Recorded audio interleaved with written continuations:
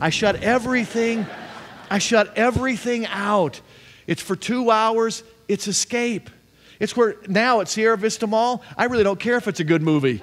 Because the lounge chairs, man, I, I just go to sleep then. So it's, it's been an escape. and some people say they go to church for the very same reason.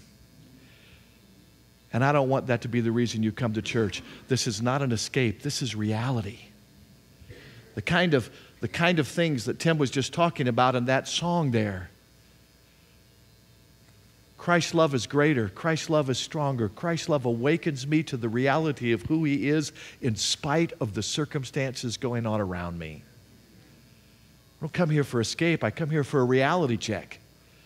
Because often the adventure of life and the frustrations of the world corrupt our thinking in a way that makes things so muddled and confusing. And here is a fresh dose of, of, of what over the long haul, I'm not seeing just the moment. And we, we live in a time and a culture that can only live in the moment, and we don't see a bigger picture. And that's the reason for the sermon series we're in. What's up with heaven is because that's the big picture. Three of the last six memorial services in the last 12 days here, our own church family. And I'm rejoicing. And I've watched their families rejoice. Because though there is a momentary absence, there is an eternal hope. I just read this quote, I hope I can get it right this past week. Those who face life without Christ have a hopeless end. And those who face death with Christ have an endless hope. That is good. Sunday mornings, the times we come together as a church family, is for the purpose of clearing out the debris of, of a hopeless end. Draw us back to the attention of the big picture. We have an endless hope. Well, there's no charge for that sermon today. so thank you. So it's good to have you here. We don't uh, we don't have the movie stars on the screen today for announcements. You're, you're stuck with me today. All right. Uh, so welcome. It's great to have you at New Hope. If this is your first time uh, to visit New Hope, you honor us by being a guest today.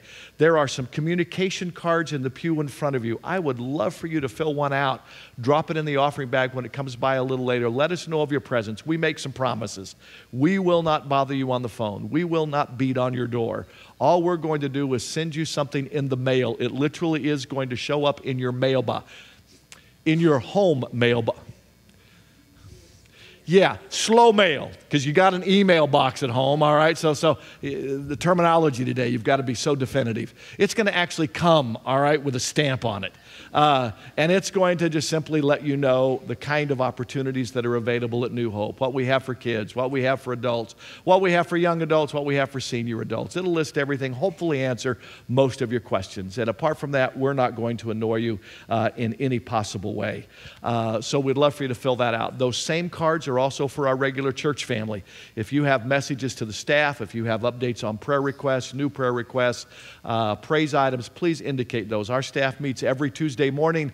We go over these, we pray for all those prayer requests, and if we need to do any follow up uh, that you've asked from us, we do our best to get that done within a week or two. So please, uh, please fill those out if you would. Um, this coming Wednesday uh, is going to be summer's kind of light around here on our Wednesday night activities, but our kids and young families are going to be meeting here from 5:30 to 8 o'clock. You don't have to show up right at 5:30. If you don't get off till then, grab your kids, come on down. Dinner will be here at the church. All right, for all of you, uh, it's going to be hot dogs and hamburgers and uh, chips, probably, maybe even some potato salad. I don't know, but uh, they'll have lots of stuff for you to eat, and it's water slide night. It's water night for all the kids. So if you have have kids from, uh, you know, uh, preschool through sixth grade, bring them on down. The weather is certainly right for a water night. I went to Bass Lake yesterday evening for, a, well, yesterday afternoon for a wedding. No shade. It's why, I'm sorry, guys, if y'all have cabins at Bass Lake, it's why I don't like Bass Lake. It was just as hot at Bass Lake as it was here.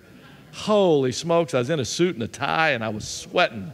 Uh, but if you're sweating Wednesday night, come here and play in the water, all right? I think they'll even let the adults slip and slide a little bit if you want to. Uh, Love and Respect Bible Study. This is a study on marriage. It's going to kick off this Tuesday night. Meets right here at New Hope. Jeff and Cindy Eitzem are going to be facilitating that study. It's a 10 week study, goes from 6 to 8 every Tuesday evening. Uh, the fireworks booth is up. You probably saw it out there as you drove in, but it is not functional yet. It will become functional on Saturday. That is our primary fundraiser to get our high school kids to camp and reduce the cost for them. We've, uh, we've helped reduce the cost significantly for our fourth, fifth, and sixth graders, for our junior high kids. This is the last one. This is for our high school kids going to Hume in August. So even if you don't want to buy any fireworks, when the stand is open, just drop by and give them a donation. But uh, certainly, if you've got fireworks to buy, uh, buy them there if you would, please. Uh, Vacation Bible School is coming up July the 9th through the 12th. If you have kids to register or grandkids to register, please go online and do that by this coming Friday. They've got to get the t shirt order in, so to guarantee that your kids will have t shirts by the time uh, VBS starts, please get those, uh, those registrations in. If you don't know how to register online, call the office, they'll walk you through it, all right? Uh, For our VBS this year, it's going to be the most unique and creative we've ever had. Uh, I always call him Dr. J, but it's actually Mr. J, isn't it? Mr. J has been the keynote speaker for Heartland Camp, which is our fourth, fifth, and sixth grade camp, for over five years. Our fourth and fifth and sixth graders love that guy. Uh, he brings a whole stage setup to camp. He's got four or five uh, junior high kids who are his support cast and teaching the lessons and the message and doing the music, which is very active. It's very fourth, fifth, and sixth grade driven. And uh, he is going to be doing our vacation Bible school. He is bringing his set, he's bringing his kids. It is going to be, we still need our volunteers. And speaking of VBS, the supplies list is out, it's online, but it's also here for you today. And if you can help by bringing any of those things, put your name there, put a contact number or email, and uh, this needs to be here. You can bring it to the office, office and drop it off before the week of July 9th, okay? So if you can help out with any of those supplies, that would be wonderful. But because Mr. J and his staff of uh, junior hires are going to be here for a week doing VBS, we need some host families. And uh, some of the information information is in here, but you can call Mark or Jennifer tomorrow, and uh, they'll give you more information. If you could uh, provide a bedroom, all right, for, uh, for two of them while they are here, all right? Uh, let's see here. Updates on some prayer requests. Mark Mims, which is Jennifer Addis's uncle, one of my classmates in high school, he is up in Stanford. He received uh, last week a, um, uh, a stem cell transplant. Irma, Tell me the name of what you and him are both fighting. Multiple myeloma. For some reason that cannot that does not stick in my brain, all right? But multiple multiple myeloma is what both he and Irma uh, are challenged with. He is going through his recovery from receiving those stem cells. He'll be up there for a little while longer. Irma's going up next month. Is my information accurate? Okay, so in, in August there will be a date set, and she will be going up for the very same thing. And so uh, they're going to be getting together and swapping notes, I understand. So that's, that's good. Uh, so please be praying for Mark as he goes through this and Irma as she will in the future. Uh, well, the newer ladies in our congregation over this past year is Joyce. And am I going to say Casseroli? Am I saying that name right? Just like casserole with an, yeah, I on the end of it. All right. Uh, she had a minor stroke this past week. Minor in that there is no evidence of it that you could notice uh, if you saw her or if you spoke with her. And she is home. Uh, Shelly saw her on Friday, and some of her friends just informed me that they called and didn't expect her to answer the phone. And she did, and uh, she probably would have been here today if it wasn't so hot. And they've told her to take it easy for a few days. So continue to pray for her and her recovery. Uh, Earl Rowland uh, from our church uh, has had three strokes. Uh, they didn't know about the first two till this third one uh, put him in the hospital this week. Again, his very similar to Joyce's. If you look at him and you talk to him, there is not a lot of evidence. It was uh, he became very lethargic, very quiet, almost non-responsive. So she took him to the hospital. Uh, they ran the tests, they did a little bit of treatment, and then they released him. So he is home today, but again, due to the heat, is not out. And then when you all leave today, some of you may run into Jim and Brenda Watson as they enter for the last service today. Uh, Jim has been on our board for many years. Uh, Jim and Brenda have been dear friends of mine for about uh, close to 35 years. And uh, they are moving this week to Tennessee. So, uh, their youngest son and daughter in law, and their now two college age granddaughters, live in Tennessee. And uh, they're going to go and be with them for a while. And so, uh, I will be praying for them. Let them know. Um, let them know that you're going to miss them. And uh, I know they would appreciate that very, very much. Continue to pray for Pam Gallant as she battles uh, breast cancer. John Miller, uh, as, as you know, he's got leukemia. It's not curable. And Basically, there's no treatment being done for it at the moment except just for pain relief. So be praying for John as they go through this season of life. Uh, next week, we have a service here on Wednesday for Richard Wogemuth. How many of you remember Greenbrier Clothing Store at the Triple J Shopping Center? All right, got, oh, yeah, yeah, yeah, okay, got some guys nodding. You got to be my age or older, just about to remember it. Uh, that was Richard's store. And actually, his bride and, and, and daughter are in the service with us today. And it's great to have them. Many of you, um, if you went to Buchanan High School or your kids did, uh, you know who Mama Bear is. Well, Richard is her stepdad, and so Ricky is with us today. It's so nice to see you all. And you might know Ricky's brother, Kevin Musso. He has the career where you can be half wrong and still have a job. Uh, that's just, yeah, yeah, humor. All right. Um, he, terrific, terrific guy. So we'll be, uh, we'll be honoring uh, their dad and, and, and her husband this coming Wednesday. So please be praying for them. They would appreciate it so much. Um, thank you again for being here today. I'm going to ask our ushers to come forward, wait on us while we have our tithes and offering. And would you join with me as we pray?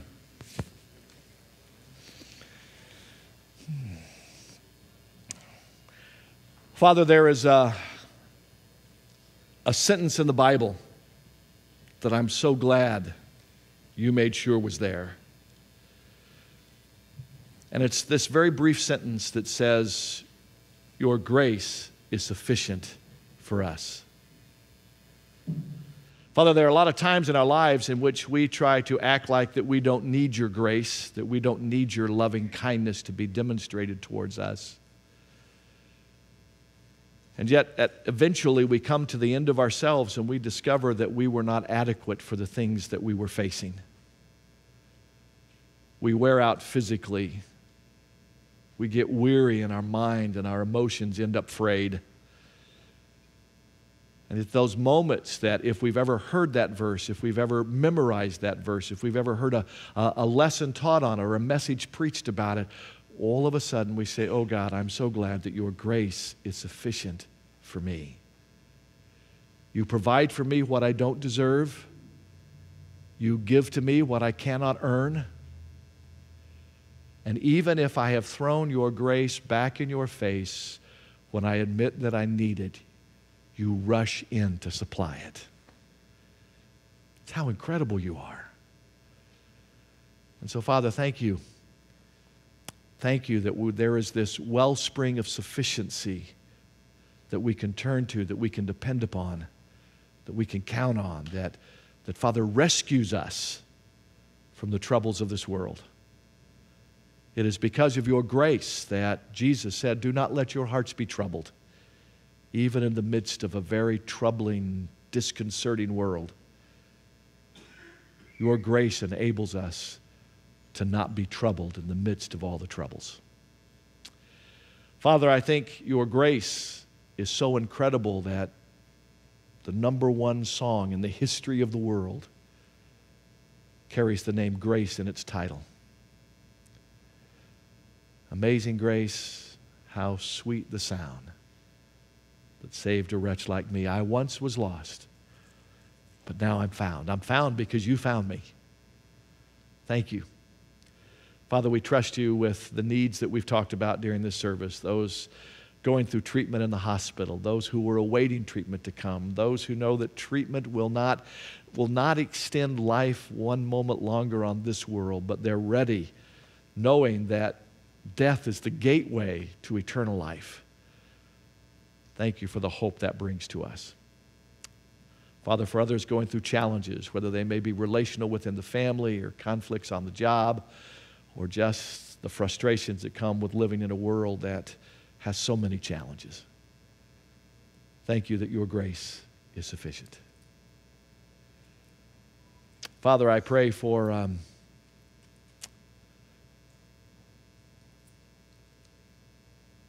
Father, I pray for the children at the border. This is not a, this really isn't a Republican or Democrat debate. This is a church. We, as your body, should be available and ready to do what needs to be done. Father, I pray just as we had a representative from World Vision visit us in our 8 o'clock service, I trust that the best of the Christian ministries we have in this country, like World Vision and Compassion International and Samaritan's Purse, would rally together and say, hey, we don't have to make this about politics. The body of Christ will care for kids. We'll stand in the gap and we'll build a bridge. Father, give us the, the creativity to think through problems like this so that we can tell the rest of the world, no matter what they're facing, your grace is sufficient. Give us wisdom, I pray. Put us in the right places to talk with the right people so that your will can be done on earth as it is in heaven. In Jesus' name we pray. Amen. Amen. Mm. Thank you, Tim.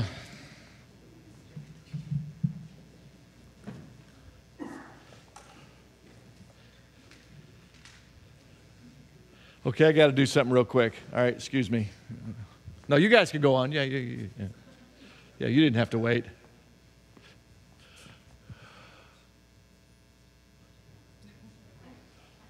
That's just been bothering me all service, so I had to get that had to get that out of my system. I forgot to do it.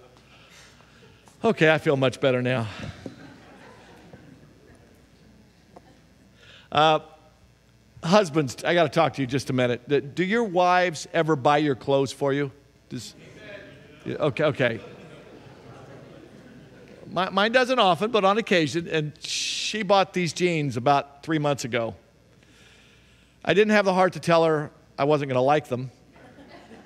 I've just avoided them. And I, I laid out a new shirt I've had, and I said, Oh, when I get home, I need to iron that. I don't expect her to iron my clothes for me, all right? but, but she ironed it while I was doing the wedding up at Bass Lake. And next to the shirt she'd freshly ironed for me were these pants, freshly. now, the reason that I took uh, an immediate dislike to them is because I thought they looked like skinny jeans. Okay? I, here's something I discovered. When I put on skinny jeans, they're not skinny jeans anymore. Okay, so um, yeah. So anyway, um, thanks, babe. I love them. That's good. we're uh, we're studying heaven. We've been doing this for a few months now. What's up with heaven? Uh, for those of you who might be new today, we're trying to look at the subject of heaven from every conceivable perspective. In fact, uh, the first two weeks, uh, I passed out pieces of paper. I gave my, my cell phone number out and asked people to send me their questions. And, and about sermon number three, I listed all the questions that we had gotten, and little by little, we're, we're sort of knocking those off. Uh, one of the challenges I've discovered is there are times we say some things about heaven in one sermon, but we really didn't cover it thoroughly. We just made passing comments. And so sometimes you will hear a little repetition, all right, from one sermon to the next, because heaven is a rather expansive subject, and we've got lots of questions. And as I shared with those the first couple of weeks, uh, the unfortunate thing is we will not be able to answer all of your questions. And it's not because we may not have time it's because we don't have the answers. There are going to be some things about heaven we will not ultimately know until we get there. Have you ever tried to describe Disneyland to someone who has never been there? I don't care how many times you've been, you're going to fall short in your descriptions and your explanation, and that's even after seeing it. So we are faced with the challenge of trying to find answers about a place that none of us has ever seen. We are taking the information that is recorded in Scripture and we are trying to understand it from the best way we can from this side of a place we've never been to. And so today we're going to be looking a little more closely at the question what will we do in heaven? This will not be an exhaustive treatment of it. I've highlighted a few things in the past, all right? I've just kind of gone through a list of some things. Top of my list was eat. You'll recall there are several passages that talk about, you know, food and eating and, you know, feasts that we'll celebrate in, and I'm so glad no cholesterol issues in any of that stuff, all right? And I don't know if it's because the food won't have it in it or because our bodies will all process everything perfectly, all right? That's what I'm counting on. Because so far, anything in this world that they take all the good stuff out tastes bad. So I'm, I'm really counting on the fact that we'll process things really well. Um, and of course, what we've all discovered is that in order to go to heaven, we have to, yeah.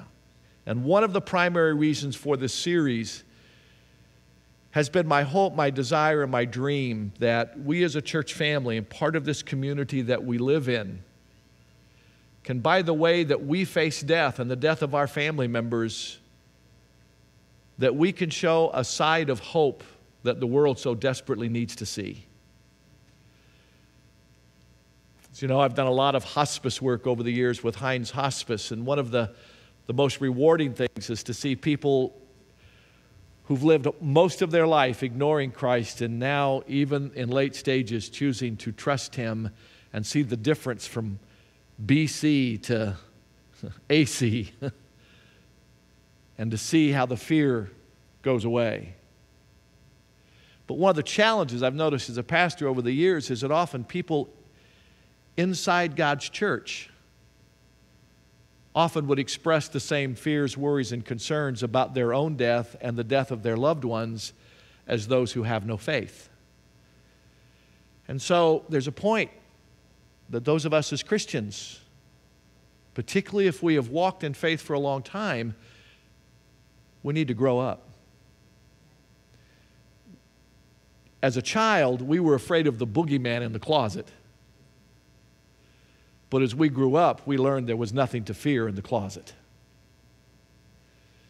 As we grow in our faith, we need, I think, to come to a place where we need to understand in Christ there is nothing to fear in death.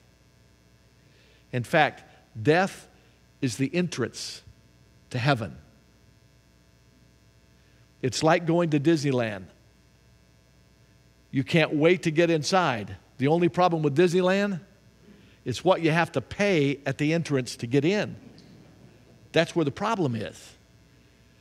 But for us who have made the discovery, we've been willing to accept Christ's offer. The price has been paid. It's been paid. The, the door is open wide, and, and, and, and, and the wide door is the valley of the shadow of death. But we get to enter into a place far more grand than where we're leaving.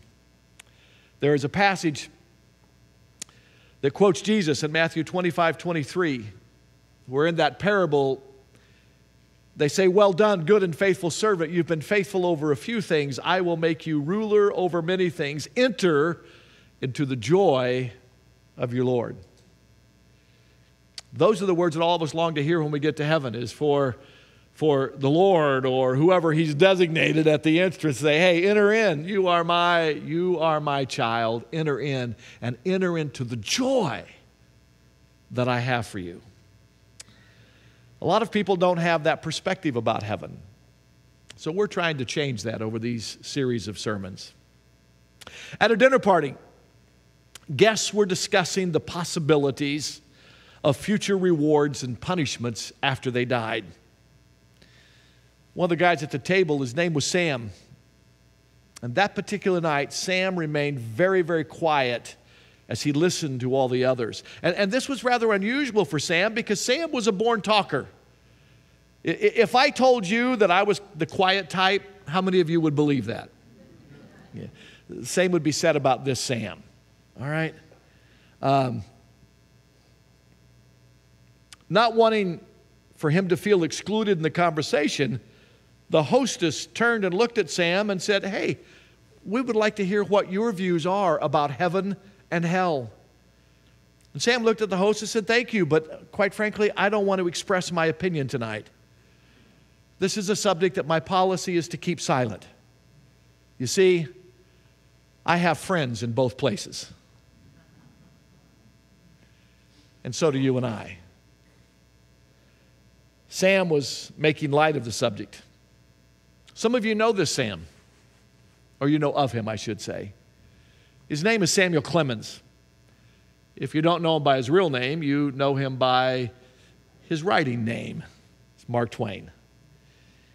In truth, Mark Twain spoke often about both places, both heaven and hell, often in jest. He used the subjects of heaven and hell for a lot of the jokes and humor that he told. One time, Twain said, This election that's going on right now makes me think of a story of a man who was dying. And he only had two minutes left to live. So, so he sent for a clergyman and he asked the pastor, Where is the best place to go? At that moment, Clemens was undecided about it. And this was not a real good preacher. He, he didn't want to be offensive, so he said to Clemens that each place had its advantages heaven for climate and hell for the company. Twain's tongue in cheek story illustrates a lie that many have embraced about heaven that it's going to be a place of perpetual boredom populated by boring people. Now, let me pause before I jump into the meat of this and just simply say do you know why people outside of church often think that heaven is going to be boring? It's often because of us. Okay? Because let's be honest, I mean, I, I don't, it's none of you. But I got to be honest, I know a lot of boring Christians. There's a lot of preachers I don't want to hang out with. All right? Um, I, I, I, can't tell you over the years growing up how many times I heard preachers preach on the joy of the Lord. And they looked as pitiful as anybody I have ever seen in my life. We, we talk about places like heaven, and we do so as if it's hell. We talk about, I gotta go to church. I can't do that. So, no wonder the world has this perspective that, man, if those are the people I got to hang out with, maybe that's not such a great place to go.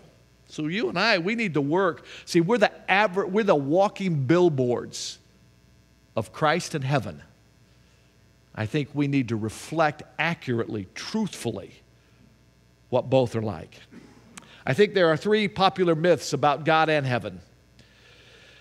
How many of you are familiar with the science fiction writer and atheist Isaac Asimov? Does that name ring a bell with anybody? Oh, that's good. You haven't read any of his junk. Um, uh, he was the president of the International Mensa program for many, many years. He was really intellectually very, very brilliant. Um, he once remarked, I don't believe in the afterlife so I don't have to spend my whole life fearing hell or fearing heaven even more. Because whatever the tortures of hell, I think the boredom of heaven would even be worse. How sad that is. And the sad thing for me, for him, is I'm sure he now regrets that choice. I've been taking late night walks. You all know I, I leave next Sunday for the Colorado River seven glorious nights going through the Grand Canyon, looking at the stars. Oh, it's going to be so fun. Um, so I've been walking to be in a little better shape. I mean, I, I know they're saying, Tim, you're on, a, you're on a raft. But we do get off the raft and we take short hikes. And Um, I, you know, I had to fit into these jeans. Um, um, so I've been, I, I, uh, last week I was up to 18,500 steps a day. If y'all haven't figured that out, that's a lot, okay? Um, and so usually, particularly now that the weather's turned, it's, it's, it's you know, 8.30, 9, 9.30 when I take off. And, you know, four hours later, I get home. but it, uh, it's, what I've discovered over these last few weeks is that the walks have been more beneficial for my brain than for my body. And that was very obvious when I looked in the mirror. But um, one of the things one of the things that I thought about last night, knowing that this is the message for today, is if I choose to reject, reject God, we do have to break this down somewhat logically for a moment. If we choose to reject God, whether we like this to be said about us or not, it is true. To reject God is to make myself God. To say that there is no God means I'm the one who's going to call all the shots. I will make all the decisions about my life. It's all about what I want, what I feel, what I believe. Do you think if you live that way, do you think you will have any regrets in life? I mean, if you live selfishly, are there regrets? I, I suspect there will be. So even if you're right, you're going to have some regrets with your life. Now, if you find out as an atheist or one who simply chose to never ever have a relationship with God, and you find out that the Bible is true about heaven and hell, do you think you'll have some regrets after you die? Yeah, I think so. So let's flip that around. If I choose to live my life in the direction that the Bible says is God's will for my life. If I choose to retain, return hatred with love, if I choose to return bad behavior with kindness, if I choose to extend to others forgiveness and grace for their offenses to me, if I choose to tell the truth rather than lie, if I choose to work rather than steal, if I choose to be faithful to my spouse rather than just to play around, and I find out, well, I really wouldn't find out if there is no God when I die. I would just be food for worms. But if the worms discovered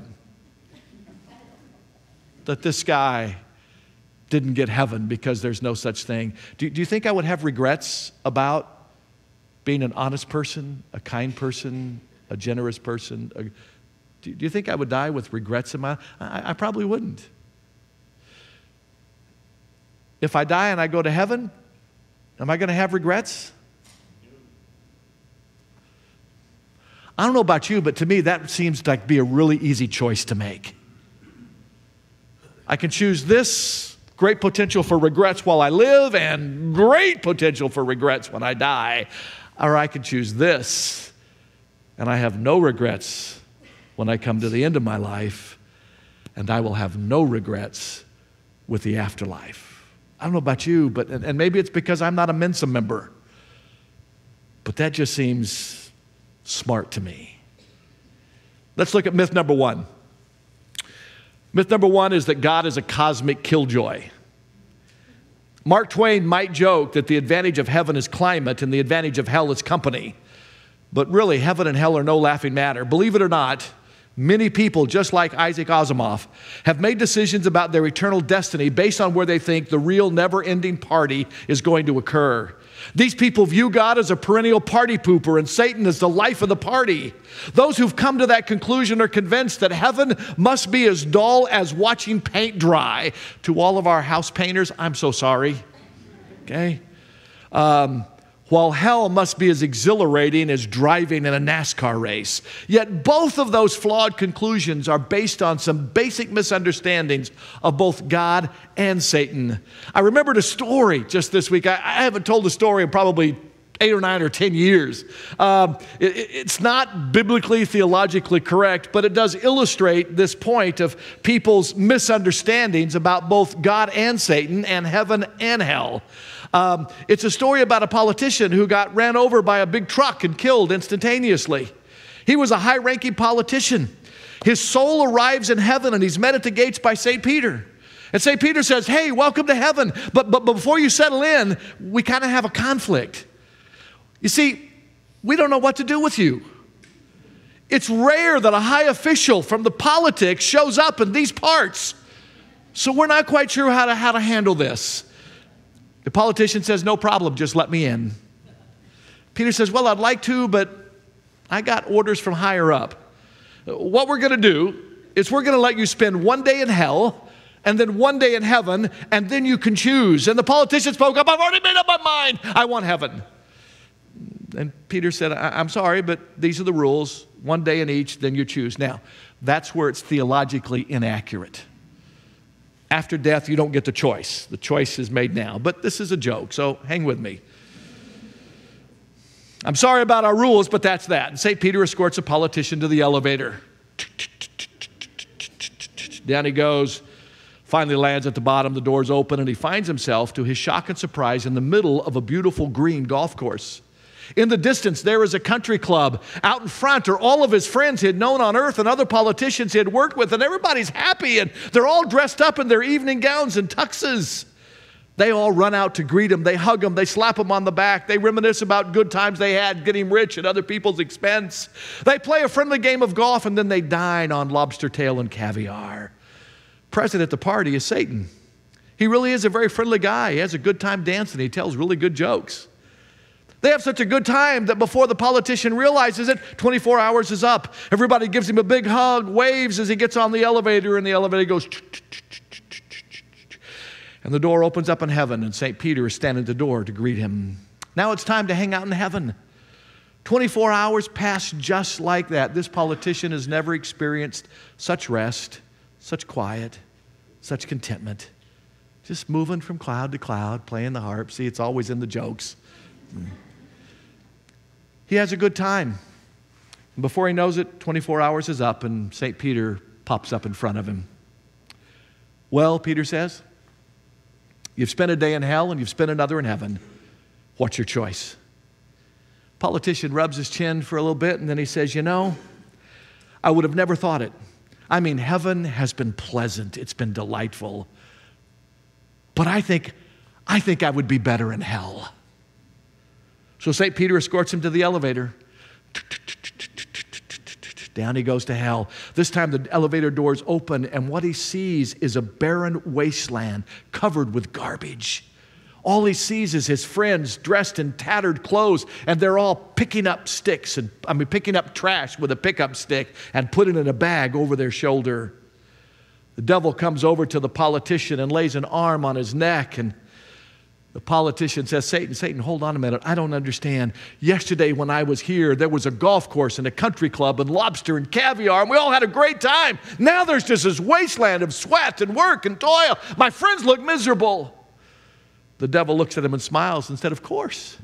Yesterday, we were campaigning for your vote. Today, we've got it. I'm, I'm not sure the accuracy of it in regards to biblical truth, but it's relatively accurate about politics, I think. But, but see, we, we tell stories and jokes like that, and often those stories and jokes become the reality of how we choose to believe.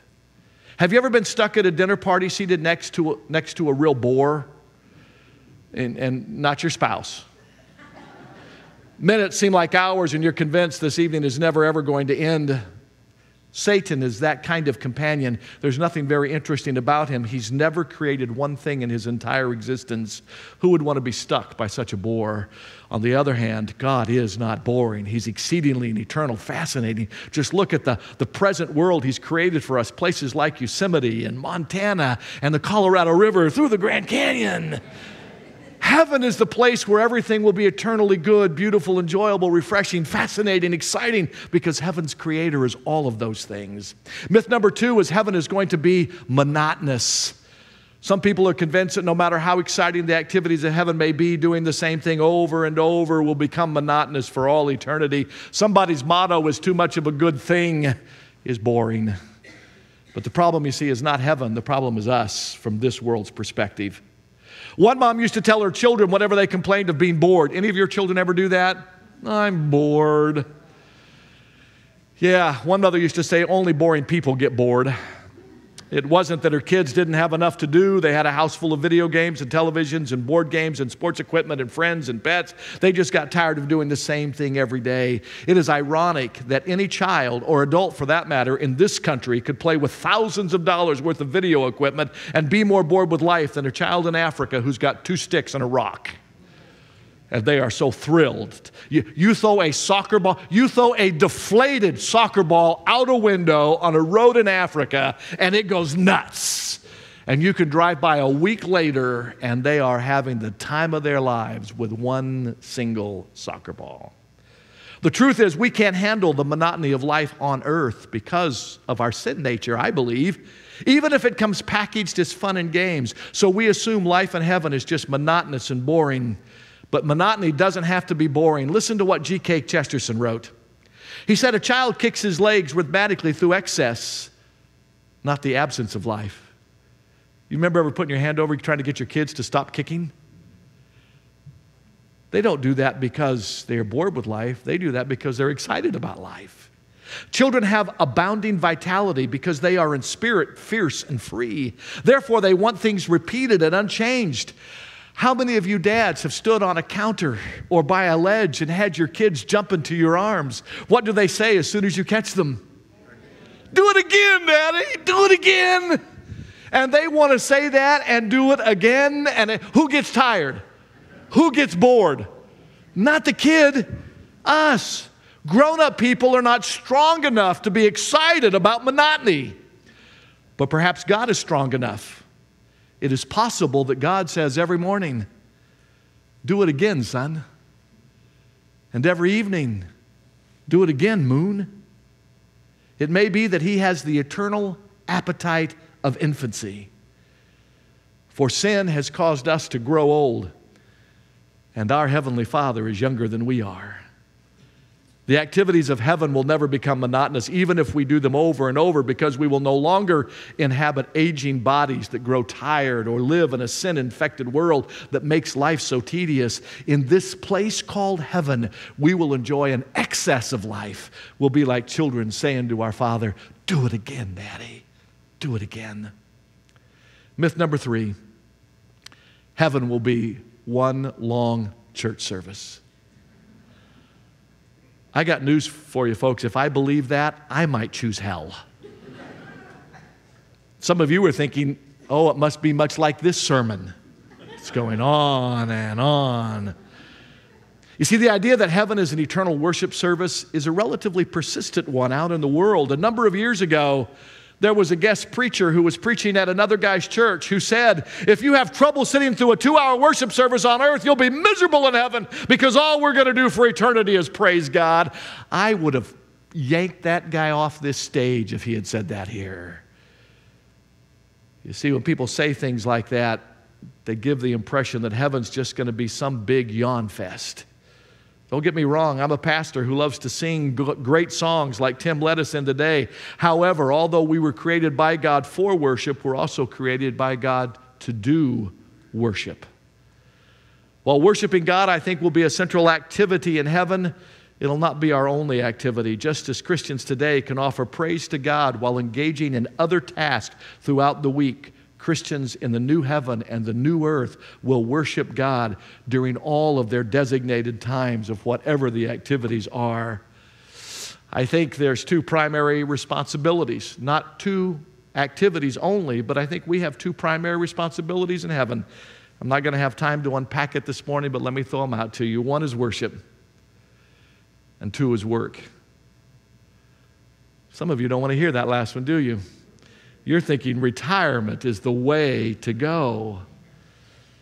Please understand, retirement is a man made creation, not a God made creation. Oh, nothing, nothing wrong with leaving the profession that you earned a paycheck in, but that doesn't mean you sit around and become useless. That doesn't mean you, you all you do is play now.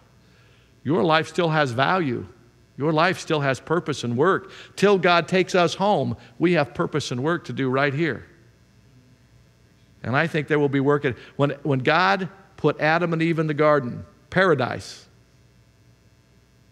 did they have a job? Yes, they did.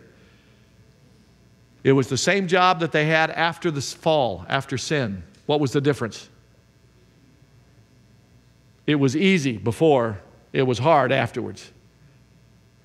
Creation fought against its work.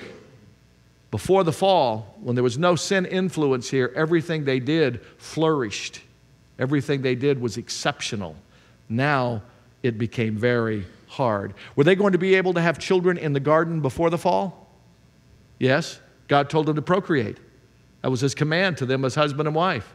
And you know what, ladies? You ought to be ticked at Eve over this. You know what? Giving birth to a baby in the garden would have been a piece of cake. In fact, it would have been easier than baking the cake.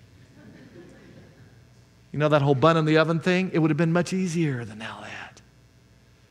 But because of the fall, there's pain in childbirth. And I don't know whoever came up with the idea of men being in the delivery room at that moment. Must be a result of the fall, because that's when every one of us here, you will never touch me again. Let me wrap this up. We will worship but we will worship in everything that we do. It just won't be organized worship. If we're sitting at a feast, we'll be honoring God with the way in which we feast. If on the new earth we're climbing a new mountain and seeing a new vista that He's given to us, we'll be thanking Him the entire hike up the trail. We'll be so grateful for all that God has provided for us to enjoy and to experience that there can't help but be worship in the process. And you know what? I'm just going to break out in song anywhere I want to when I get to heaven because I will be able to sing on key. I will sound as good as Kepler when I get to heaven. That is so cool. We will worship and we will work and we will not be bored.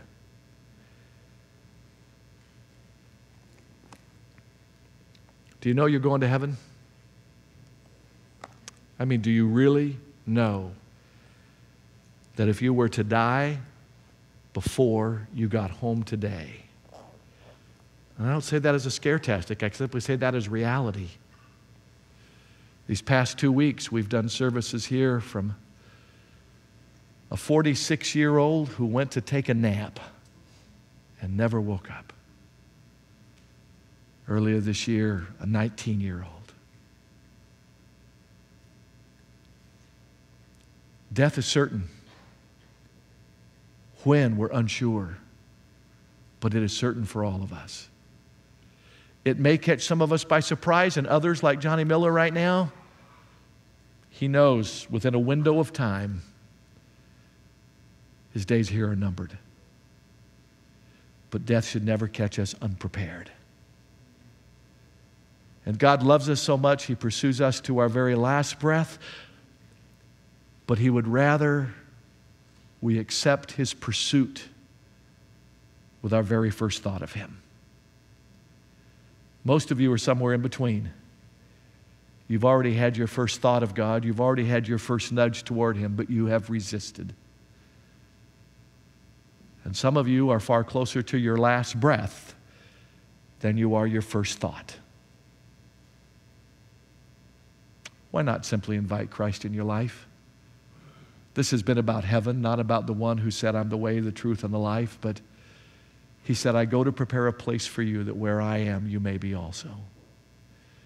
If you've never invited him into your life, why not in the quietness of this closing moment? You just say, Lord Jesus, I, I, I know about you because of Christmas. I know about you because of Easter. I, I know bits and pieces of you, but I, I've never invited you into my life. I'm ready to do that today. Maybe some of you are beginning to nod your head and say, Ah, this is why I came today, even though I didn't really want to.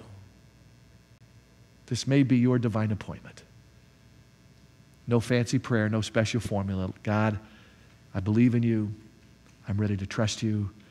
I'm anxious for you to teach me more about who you are.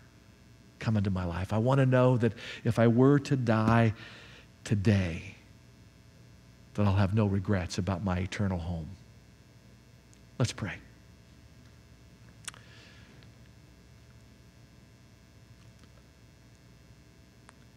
Father, sometimes I come to the end of a message and I think to myself,